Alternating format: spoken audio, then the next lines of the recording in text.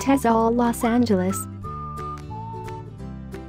Trainees attending our TEFL TESOL certification course in Los Angeles will find there are plenty of accommodation options to choose from due to the city's status as one of the most popular tourist destinations in the USA.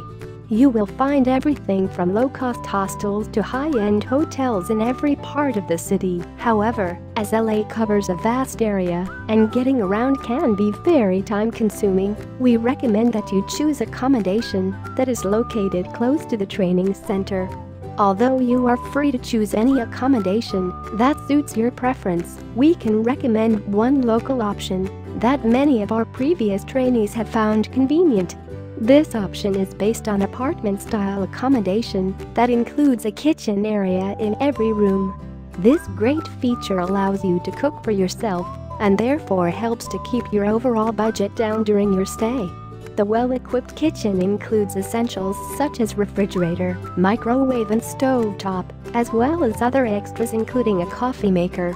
The accommodation also includes complimentary breakfast and access to laundry facilities and Wi-Fi internet. Full details will be provided once your course booking has been completed.